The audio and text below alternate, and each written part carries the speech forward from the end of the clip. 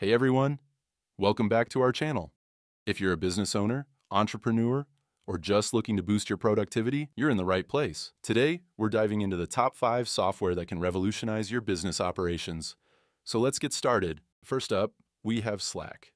This powerful communication tool is essential for team collaboration. Whether you're working remotely or in the office, Slack keeps your team connected through instant messaging, channels, and integrations with other essential tools. Say goodbye to endless email threads and hello to streamlined communication. Next on our list is Trello, the ultimate project management software. Trello's intuitive board system helps you organize tasks, set deadlines, and track progress with ease. Perfect for both small teams and large projects, Trello keeps everyone on the same page and ensures nothing falls through the cracks. Managing finances can be a headache, but not with QuickBooks. This accounting software is designed to simplify your financial management, from invoicing clients to tracking expenses and running detailed reports. QuickBooks is a must have for any business looking to stay on top of their finances. In the age of remote work, Zoom has become an indispensable tool.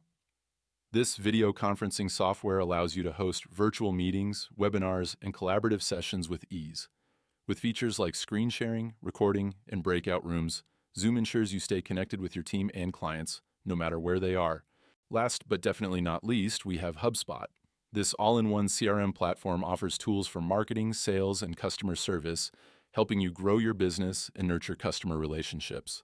From automating email campaigns to tracking customer interactions, HubSpot is your go to software for driving business growth. And there you have it the top five software that can take your business to the next level.